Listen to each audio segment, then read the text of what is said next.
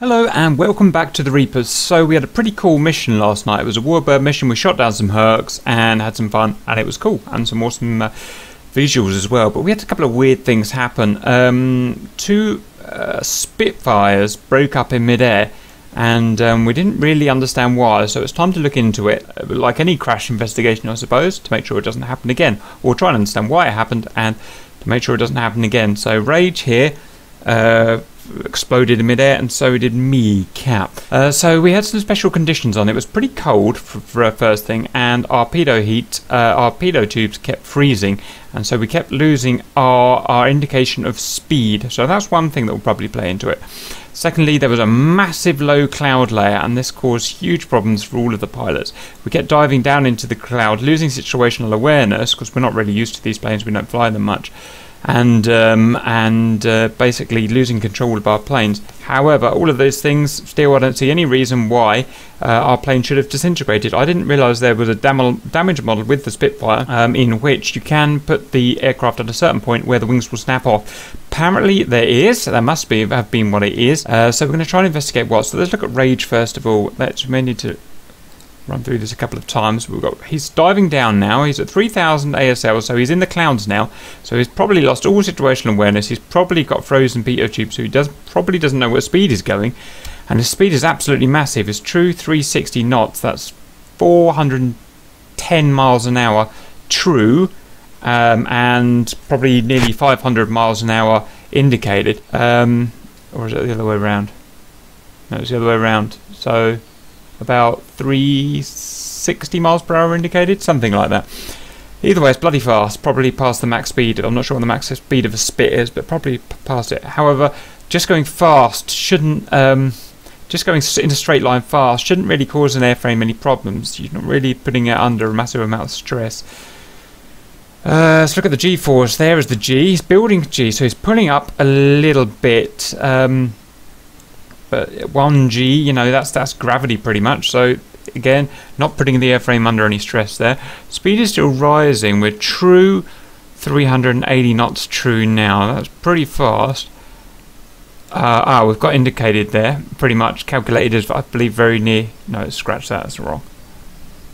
I'm not sure what the indicated is. It's 390 true now. So that's really fast now. So 390 true must be 440 miles per hour. So it's right at the top of the speedo of the Spit. He's just come out through the clouds now and is facing. He probably lost situational awareness coming through the clouds. He didn't. I had no idea he was coming through so fast. Suddenly he's faced with the the ocean because he's just come out the bottom of the clouds at 1500 ASL. And I'm guessing it's going to put like a pull back on the. Oh right, yeah, it's loading the G up. You can see the G loading up there. 4G is got. You notice how it's sticking at uh, 4G, that means it's probably bugged, which probably means it's above 4G now. And he's backsticking, ah, and you just saw he backstick there. Let's just try that again, it's kind of hard to get. If you just watch the plane, I, think the G there is bugged, it's reading 4, it must be maxing out 4 for some reason. But let's try and look at his control input. Mm, it's really hard to tell.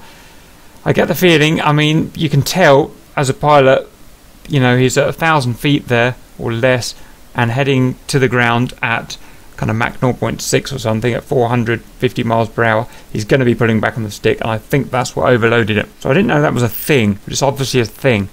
So that's a little bit of information. Next, let's go and look at me. Um, I'm going to do exactly the same thing. My heat is. Uh, uh, jammed up, so I frozen up, so I'm not getting a, a speed reading. So it's reading about 100 miles per hour, per hour or something. In fact, I'm doing nearly 300 knots true, which is a lot, but I wouldn't have thought enough to rip some wings off a spit.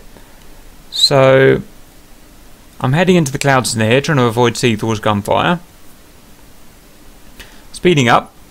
Okay, with 310 true, 320 true. Ah, look at the G. I had no idea I was pulling these big Gs here. 7.2 G in a spit. Yeah, that's that's overloading. That's that's blacking my pilot out at that point.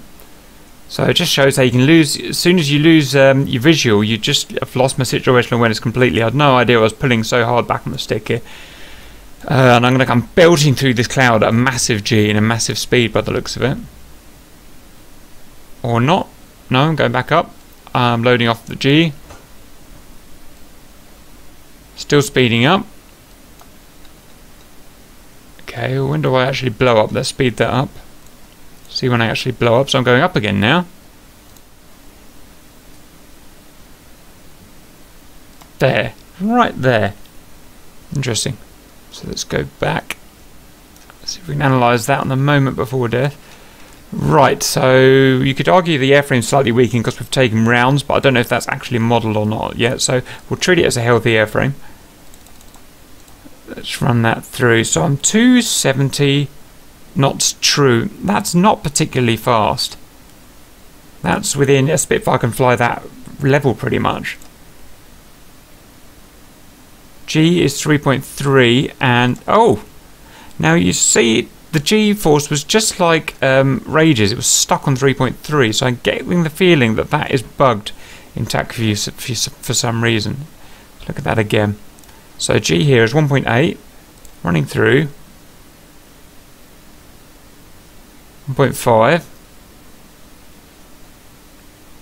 3 and it stops increasing there at that point. point and I'm guessing that is TACView being bugged. I'm guessing in reality I'm actually loading up more and more G.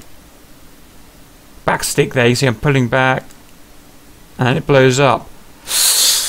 I've not got a lot of data to work with here. I mean, I don't know what G I was doing when I blew up. And the speed was low. So roll over here. Come on. So that's 300 knots true. Uh, so I died at just under 300 knots true and an unknown g-force. So there's a big difference to the 400 knots or nearly 400 knots of rage there. Okay, so what, what we need, so what we've learned here is that the wings do fall off if you pull a certain g-force at a certain speed. Whether it has to be in a dive or not, I'm not sure, but I doubt it. Physics would suggest that the same should affect us whether we're going up or down or left or right or whatever. Uh, so the thing to do now is jump in a cockpit, I think, of a Spitfire, put it in a dive to get some speed up. Um, once we're at a certain speed, we'll pull the stick back and see at what speed it takes to, to pull our wings off. And at some point, we'll reach a certain speed. The only thing that's bugging me slightly is that my Spitfire was at 300 knot, knots true, and his Spitfire was 370 or something, a lot higher. So that does bug me a bit.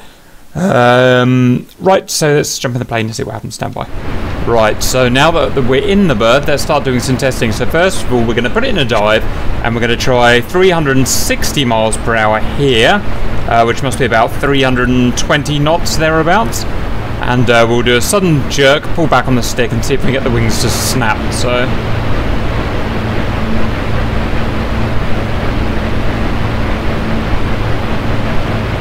320 340 360 pull and my wings look good. So let's try again at 380 miles per hour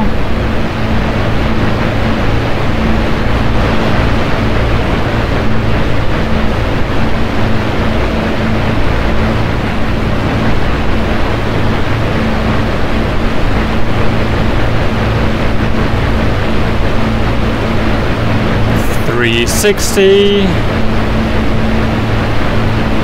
380 wings are fine. Let's try 400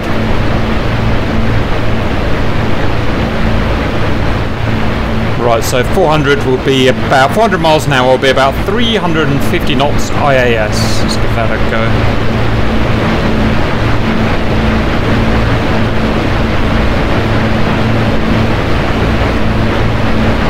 380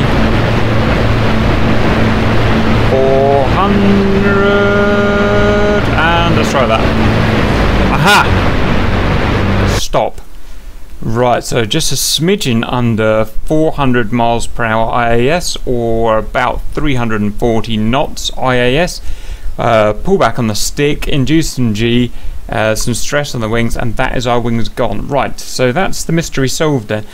The only interesting thing is on the replay that we saw just now of me snapping my wings off yesterday, last night, I was only going 300 knots true and I pulled back on my stick and or less than 300 knots I think it was true and I pulled back on my stick and I snapped my wings off there but we've shown here that you need to be uh, just nearly 400 uh, nearly 350 knots true to get the wings to snap. So I don't know uh, sorry uh, indicated so I don't know if anyone can um, work out why there is a difference there maybe it's because I was at altitude maybe that true uh, that reading of 300 true from last night would have equated to a higher IAS, I don't know.